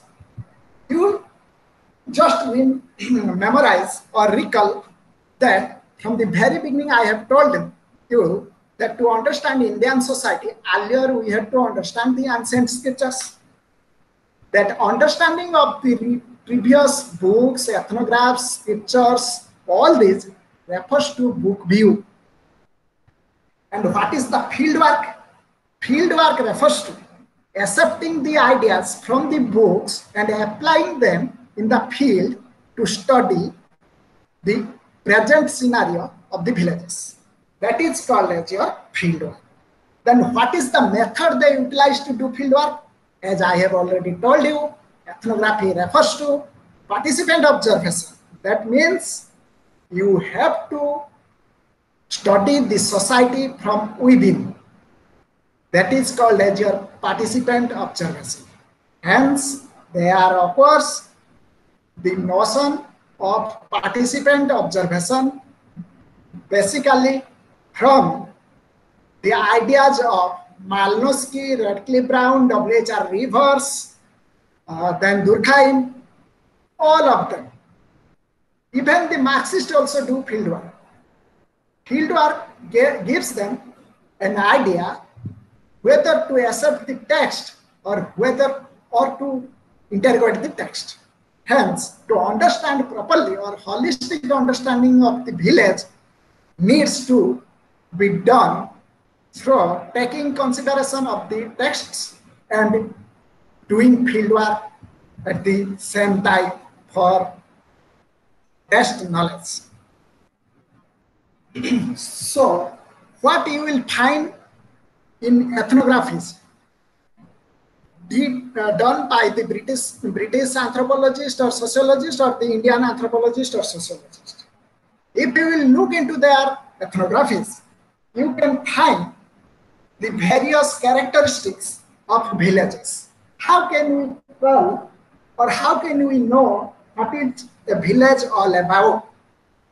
To know that, if you will look at the characteristics of those villages, then we can claim that that is a village and not a town.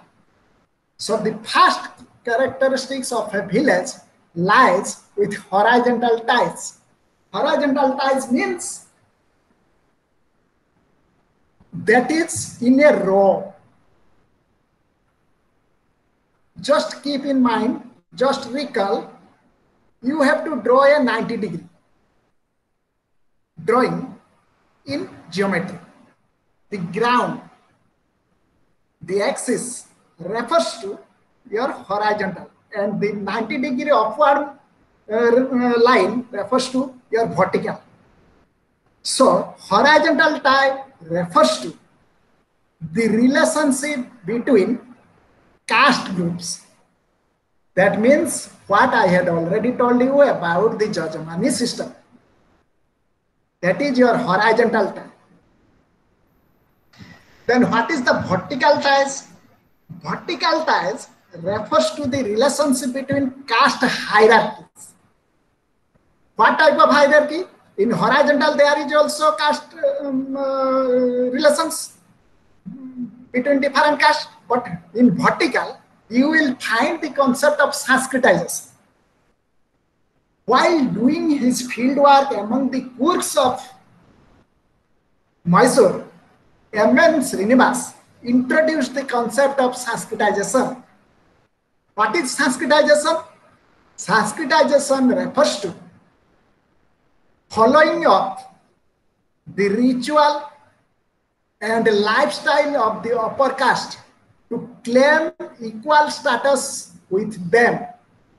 That is called your Sanskritization. That Sanskritization concept refers to the idea of vertical ties. You must have idea about your village. You must have heard about a caste called Vaishnava. The Vaishnavas claim equal status to that of a Brahmin. How did they claim or how do they claim? By practicing the equal ritual habits a Brahmin does. They won't take kacha food, they usually eat cooked food with ghee. They don't take garlic, they don't take onions, and they claim a status, unique status that is equivalent to the Brahminical status. Hence, such type of claiming status is called your vertical ties. Then comes your identity. Your village gives you a we feeling. I am from this village, you are from that village, all those things. I, my village is best, his village is yours.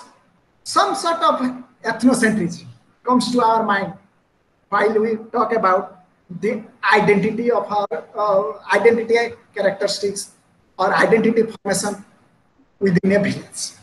You will find that if, a, if an outsider attacks any member of the village, the whole village comes to protect him and has the outsider.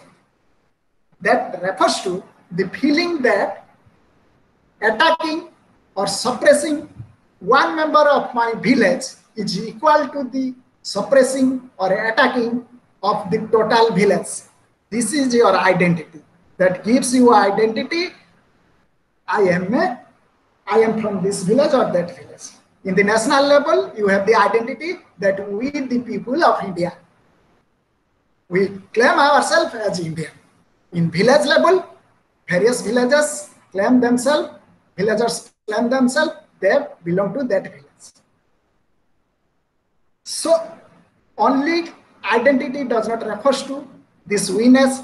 Also, there are some sorts of identity occurs based on caste also. The dominant caste in a village reflected the identity of that village. If Brahmins dominate in a village, that means that a village will be termed as Brahminical village. If that village is dominated by the Karnas or the Kshatriyas, then that village will be known as Kshatriya village. Hmm, just have an idea about Puri. The Puri town is very much linked to the socio-cultural settings of the Jagannath culture. There you will find various sahis. That means certain professional based, caste based village categories who contribute equally for the Jagannath culture. However, each sahi has its unique identity. Then comes your reciprocity. Reciprocity refers to the relationship that occurs on the basis of give and take.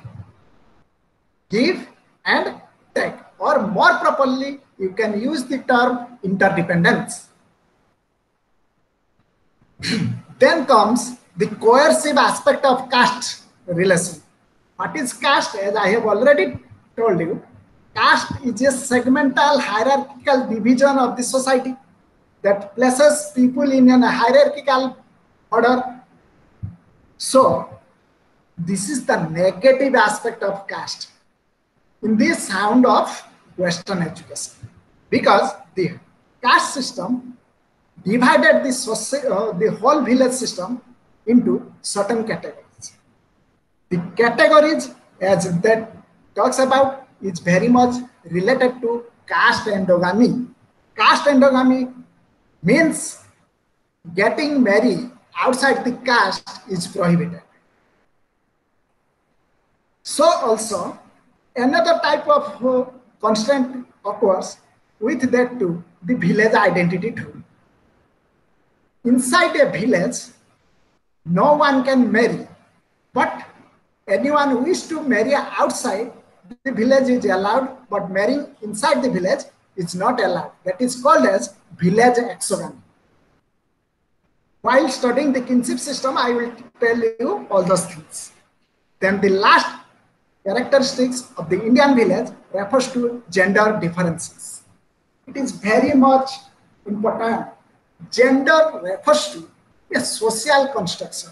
What do we see as boy or girl refers to the sexual differences, but gender refers to the status attached on the basis of success. That means male or female. And now there is another gender called the third sex or the eunuch or the transgender. You will find in villages, till now in villages, there is a stereotypical notion that the females needs to be confined within the household activities. So how they identify the female? They identify the female with household activities as well as with the kinship relations. That means my grandmother, my mother, my aunt, all the all of them needs to be working within the home itself, not outside. And who are the males? Those males, male refers to the and others part of uh, gender who usually claim a superior position to the females. And they did outside activities or more probably you can call them as men.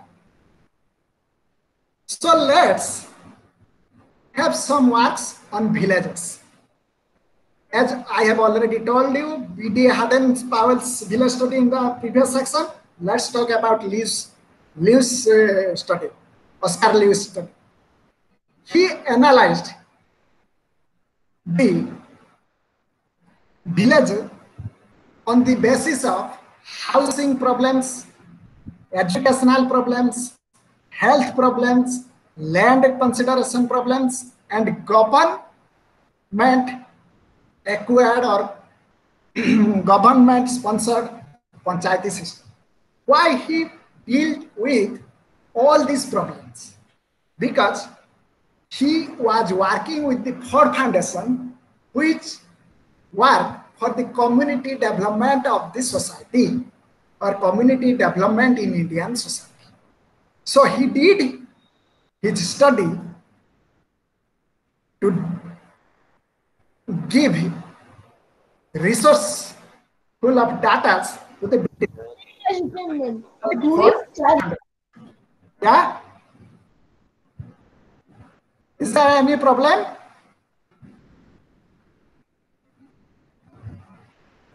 okay then comes S.C. Dubé's interpretation of village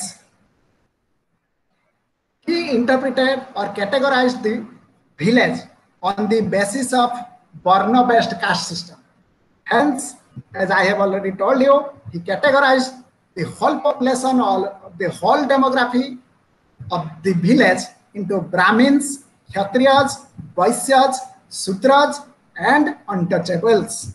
He didn't accept the earlier categorization of caste that deals with only four, the Brahmins, Kshatriyas, Vaishyas, and Sudras. He claimed that the untouchables too have a particular or important role during the freedom struggle. Hence, they should not be decasted. Then comes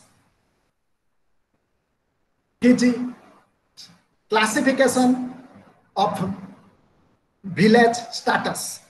His uh, status in a village is determined by the following six class categories. First, religion and caste. As I have already told you, a Brahmin village or Kshatriya village or something like that. Then come the status within the village on the basis of land ownership. Those who have land, they will enjoy the higher status.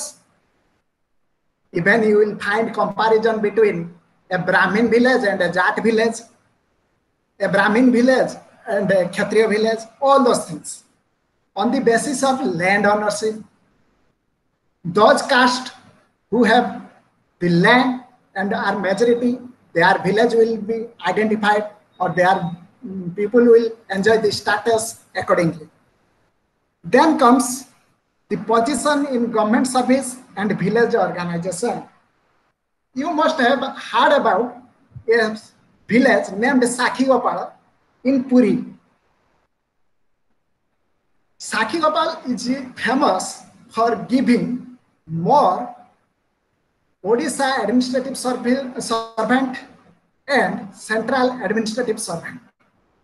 That village is full of filled with IPS, OS, and IS. Hence, when you will find a village that is very much famous, certainly Sakhigopala come to your mind that this is the village with highest number of prestigious government servants. So this government service gives a specific status to that village. Also, age is another factor. The village which has more younger population is richer than that a village which has less younger population or working class population.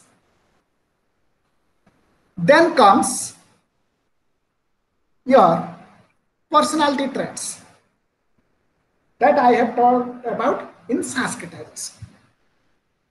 That means earlier a village was dominated by the Sudras or by the Vaishyas, but suddenly it claimed itself to be a dominated by rich uh, character like Vaishnavite village. That means they started following the upper caste to claim a upper stratification, uh, upper status, and accordingly, the status of the village varies. Thank you. If you have any doubt, you can ask me.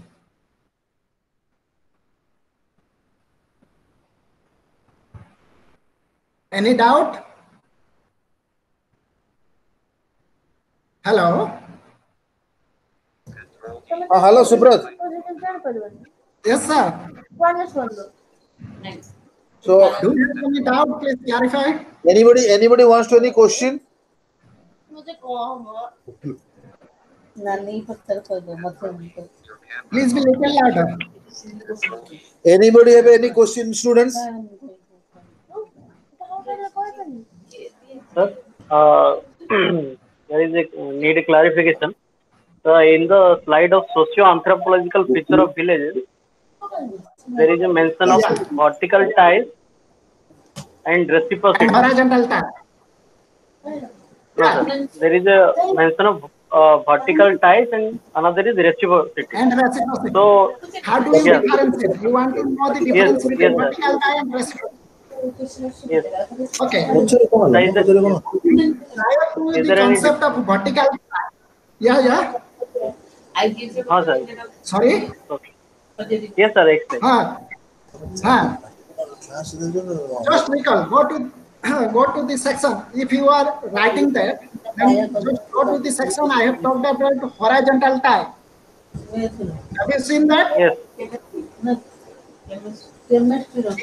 More exploratory aspect of the horizontal tie. It's called as reciprocal relation. Okay.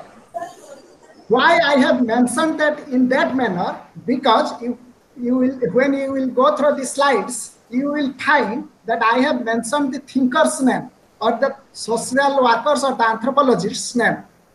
How they categorize the classification. Are you getting it? There is a very similar similarity between horizontal tie and reciprocity, but vertical tie refers to the idea of Sanskritization. The vertical, the vertical tie can be a Varna system, and the Varna system called be as vertical tie. See, see, you are right. Varna system, go to Dubey's concept of Varna system. Dubé argued that caste is nothing but the subgroup of a Varna system. Hence, vertical tie is not outside of Varna system. Are you getting it? Yes, sir. Yeah. So, uh, my doubt was in the in the reciprocity also there is a interdependence between caste, and Yes. in also uh, in also vertical ties also there is a interdependence or interrelation. So, is there any difference between reciprocity and vertical tie? The only difference is that, try to get me properly. The only difference is that interdependence refers to I am helping you and you are in return helping me. Okay? That means if I will serve you, you need to serve me. If I am a Brahmin, I went to your home and worship. In return, if you are a, a weaver, then you will provide me with uh, with the clothes and all those things. But in vertical ties, vertical ties means giving another type of identity that you follow my way of rituals. Okay, how I maintain my daily passage of life. That means what is my way of doing ritual activity, what is my way of uh, fooding, what is my way of uh, clothing. And if you are following me uh, to claim that you are not of a lower caste and you follow me properly, then I will develop a relationship with you that though it is not equal, but somehow equal. That is called your vertical tie. That means the relationship between a Vaishnavite and a Brahmin it comes under this vertical type.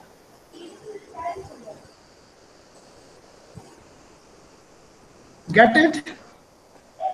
Yes, sir. Are still there? Uh -huh? Yes, sir. Are I got cleared it. or not? Uh, Clear what happened? Yeah, yeah. Tell me, tell me. Don't hesitate to ask questions. Just tell me. I will try to make it as simple as possible. Sir, uh, my doubt was in Uh, vertical ties also there is a relationship between the caste hierarchy. That means caste hierarchy. Yes. Here, here, as I have um, written it in point manner, hence mentioned that relationship between caste hierarchies. But while teaching you, I explained it. What type of relation? That relation based on aspect of Sanskritization. Vertical means going above the caste status position. You are a Sudra, but you are claiming the position of a Vaishnavite or a Brahmin if you will follow the uh, social way of living of the Brahmin. And when a Brahmin finds that you are maintaining hygiene, you are having that uh, practice like mind uh, caste, then similarly, there will be a good bonding in between us. Okay, you you can mark it very well. Just like Brahmins, the Vaishn- Vaishnavites won't take food in your other's house. They maintain very much purity and pious. So generally, people accept the Vaishnavites as a part of the uh, Brahmin culture, not Brahmin, but Brahmin culture. That type of tie is called vertical tie. uh, sir, Uh, vertical that means detachment is the relationship. as they are in the caste hierarchy. Yeah, yeah. That means detachment is the relationship Please be or separation is the relationship. Which one? In vertical ties, the uh, Couldn't get that it. means differences between Yeah. the different castes or the detachment between the different castes is the relationship. That is the relationship in vertical ties. There is differences.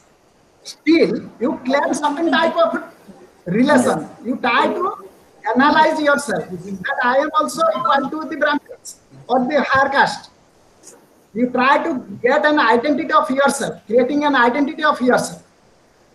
That is your vertical type.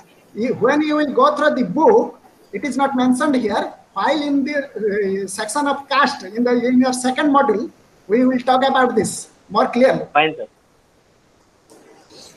Thank you. Okay. Any any other questions? Okay, Subro sir. Thank you very much. So I, I I must thanks to you for your presentation. So might be our learners interest in Oriya also. So you can both mix the both the language, English Okay. and Oriya. Okay. So might be our student will more Okay. Comfortable. class You make it 70 30, Okay. Okay. 70% English and 30% English or 60 40. Okay. Okay. So that that will come. Okay. Uh, yes, It's already learners. So according to that, next class you take your next class is on. I'm in ninth. Okay. So learners, Okay. tomorrow is your MSO three paper. So okay. Anyway, thank you once again to Subra sir. So today's session I conclude. Once again, I thank you, sir. Thank you. And sir, Thank you you. what are the presentation, the presentation slides, you put it in the WhatsApp group. Yeah. Yeah. Yeah. I will WhatsApp it to you. Just now I am making that. Thank you all for watching. Thank you, sir. Welcome. Thank you so much, sir. Thank you so much. Thank you, sir. Thank you. Welcome. Welcome.